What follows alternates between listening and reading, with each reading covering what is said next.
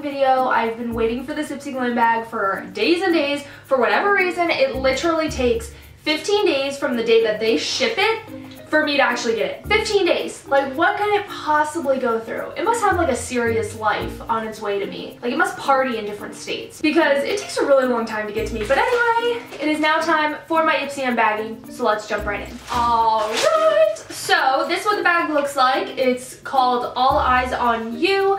This is what it looks like. I've already seen like people's thumbnails with a picture of this bag, so it's not completely new to me. It's not my style, it's not at all what I'm into, but it is a glam bag. I do like the fact that Ipsy gives glam bags because people can use this, and I like that. I think it's a really cool concept that you don't just put it in like a poly mailer, you put it in an actual cosmetic bag. I think that's pretty cool, so I give it to Ipsy for the creativity and for changing the bag every single month, and I do give it to them for creativity. So don't get me wrong when I say I don't like the bag, I just don't like it. It's not for me, but it doesn't mean I don't think it's pretty cool that they do this. So let's get into this bag. So the first thing, of course, is an eyeliner. I think I saw Modesty Jean talk about it. Every month we're getting eyeliners, and they're always eyeliners that nobody uses. This is from Mr. Write Now. Cool name, I'll give it to them. This is in the color, I think, Jacques, or Jack, J-A-C. This is from The Balm. The Balm's a cool brand, but this is like a kind of like golden brown color, which is not my style, so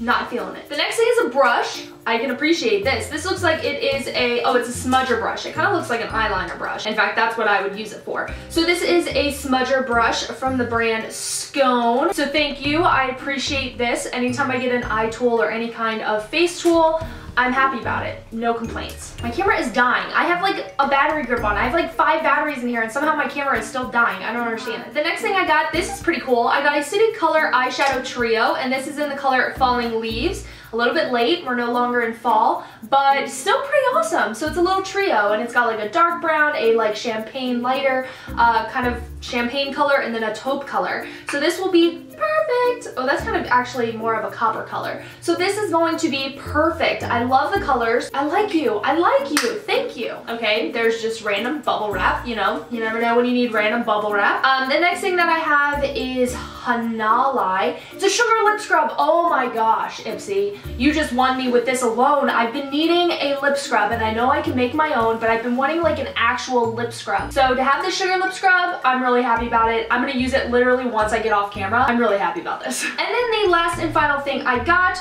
awesome. Oh my gosh, definitely good bag. Ipsy, you got it. This is the Burt's Bees cleansing oil. This is brand new. So many people have been hyping about this. I've been dying to try it, but it's so expensive. I think like in store, it's like around, darn, the camera actually died. So anyways, what I was trying to say was Burt's Bees cleansing oil. It's a cleansing oil with coconut and argan oils.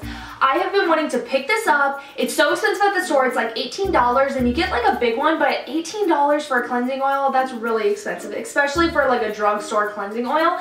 So I haven't tried it, but now that Ipsy was smart and actually included it in glam bags, I'm sure all of us are gonna fall in love and have to go buy it. I don't know, but I am really excited to have gotten this because I've been dying to try this out. So Ipsy, I definitely give it to you this month. This has been a really, really good bag this month. So that is actually everything that I got in my Ipsy glam bag. I'm really, really happy with this month's bag. I love every single thing in it besides the eyeliner. I think we're all just tired of getting eyeliners. I've heard so many different girls say another eyeliner. I would be so happy to get eyeliners if they were black, if they were liquid eyeliner. I feel most girls wear liquid and uh, like gel eyeliners nowadays, but I just would be a lot happier if they included liquid or if they did include eyeliner that it be black. So that's my only gripe on that, but trust me, I know there are girls who love getting this stuff, so just let me have my own opinion, shall we? But anyway, that is it. So I really hope that you guys enjoyed this video. Make sure you guys subscribe to my channel if you want to see more videos from yours truly.